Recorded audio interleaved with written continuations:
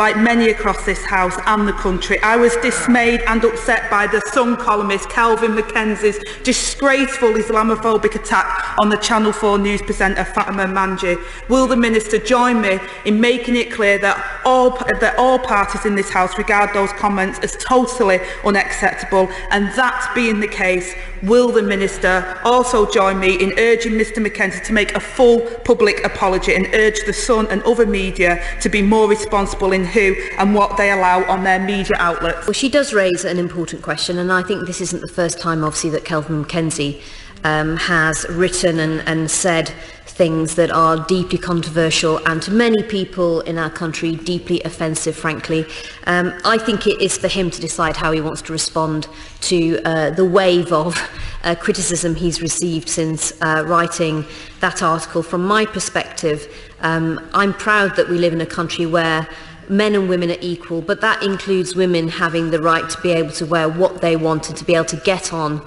uh, in their job, uh, it, wearing how you know what they want to be able to wear, and that includes um, newscasters and journalists, in my view. So we need to make sure that we have some kind of uh, a consensus around not rising to the bait of people like Kelvin Mackenzie, and I hope that we can, frankly, uh, give his comments the derision that they deserve. Well, the Minister has put the bigoted fellow in his place pretty comprehensively.